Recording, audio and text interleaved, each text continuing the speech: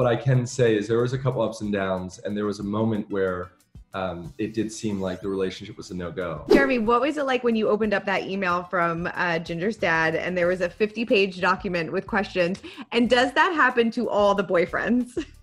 Well, I, I, I probably responded a lot like I'm responding right now. I didn't know. I mean, I was just, just kind of wow. Okay, um, it was intense, but I was actually pretty eager to fill it out and say, okay, let, you know, hey, this is a good opportunity for, for them to get to know me. Um, it's tough for Mr. Duggar, man. oh yeah. Got all these girls, all these guys hanging around.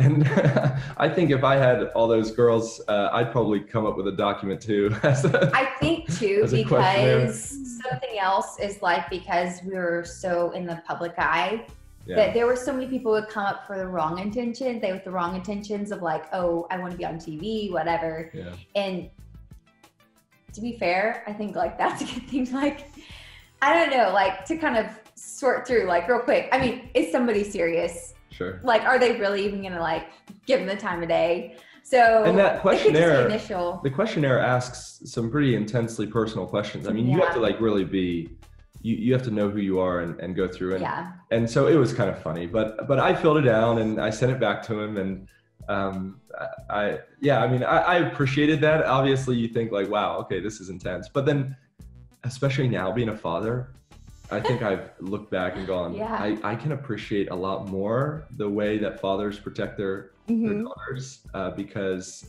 i'm going to be protecting my little girls too and and boys are not You're starting your own document right now. oh, yeah. Wait, so so do all the boyfriends have to go through this? Like kind of like I don't know. I'm I mean, sure. I don't think so. I don't think all of them did it. I think it was just something that my I dad also- had at that time. Yeah, I Um, also wasn't from their kind of world. So Right, I was yeah. totally from the outside. Yeah. And so They didn't know I think Mr. Duggar wanted to genuinely say, okay, who is this guy? Like, obviously, as a friendship with Ben and Jessa, but yeah.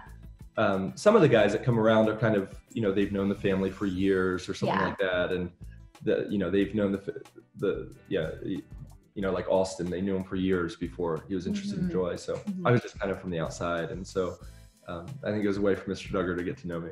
definitely. I mean, what was it like when he first told you that he didn't want you to pursue his daughter after all, after all of that? After, you know, getting to know each other for, you know, a number of months, doing that questionnaire and everything and then and then also getting Jinger to say, uh, you know, I don't know if I'm really into this right now. Yeah, well, we don't want to give away too much before people get the book, but uh, what I can say is there was a couple ups and downs, and there was a moment where um, it did seem like the relationship was a no go. Yeah. And at that point, I just remember thinking one thing is I can't give up. I don't have the faith to give up, and so I'm gonna keep uh, keep prodding, keep keep talking, uh, keep keep engaging with Mr. Duggar, and uh, and so we don't want to give, give away too much I there. know. It's hard to not talk about it. I know, There's, there's- so many. There's so many good little tidbits. yeah, but, but we gotta we gotta let the readers uh, have a little bit of suspense. Totally. I mean, what what made you nervous about Jeremy at first? Because obviously, like like you said, he you didn't know too much about him. He wasn't kind of around. Like you didn't know him before. Ben and Jessica kind of introduced you. So what was kind of what were some of your red flags? I guess. Yeah, I think it was just figuring out like I think as you're you're like thinking through, okay, who am I as a person, you know, and like what is his personality and him coming into this relationship or even into like our circle, I guess, of friends, like with Ben and Jess and them knowing Jeremy. But I appreciated him through them, like everything I had heard. But there's a time where it's like, okay, but they're not the ones who are going to get married. You know, it's like I am the one who would who would get married to him. So I think as any relationship goes through those times where you're figuring out who the person is and um, you just want to know that you know that this is what is for you. And so I think it was just those wrestlings that I was going through Yeah.